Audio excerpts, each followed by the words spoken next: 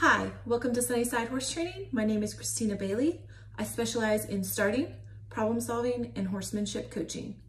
Today, I want to discuss balancing a horse's brain through focus-based groundwork. So in this video, I am using Jax, and this is when she first came into training. And I actually did my last video on a previous part of this session where I was working on getting her to focus on me by using the flag and getting her to come to me. This is later in the session where I am asking her to continue focusing on me and allowing me on that right side. She's very guarded on that right side and you can see how she's blocking me and doesn't want me petting on her.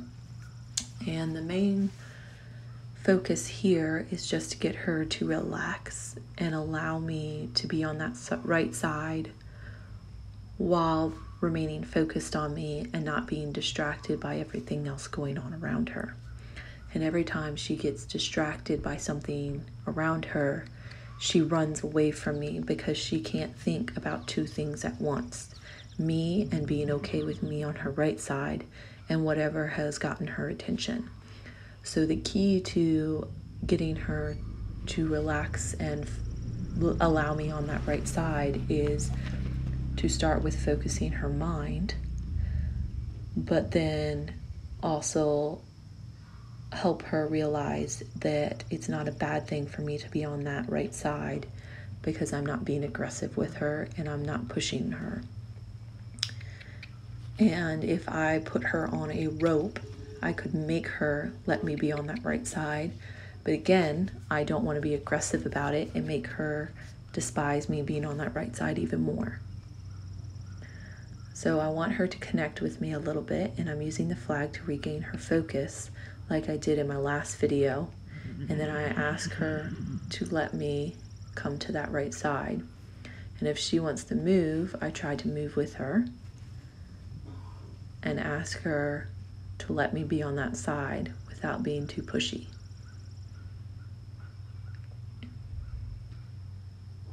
A little release when she relaxes, walk away, and let her know she did the right thing and let her follow me.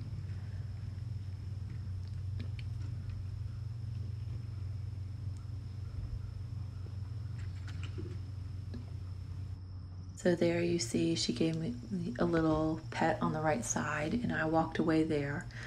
And this is a minute later when she's relaxing again and let me pet on her. And if I put this whole session in the video, it would be over an hour long. So I'm just trying to get the highlights here. And every time she gets distracted there, I remove my hand so that I'm not scaring her and pushing her away from me. Give her a release. See, she dips her head, refocuses on me slightly. I want to see lots of head lowering, lip licking, like she's doing right now.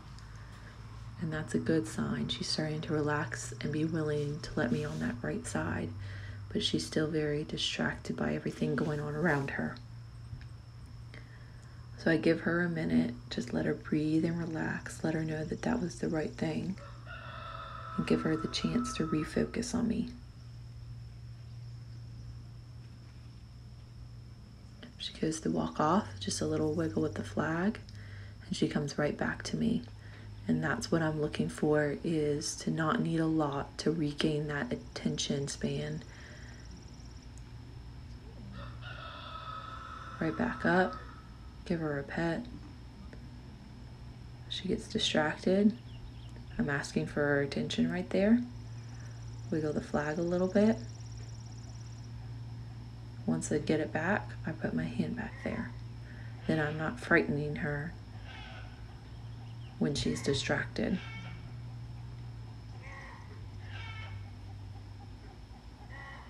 And that's a good place to stop. Thanks for watching, and as always, if you have any questions or comments, shoot me a message. Look forward to seeing you next time.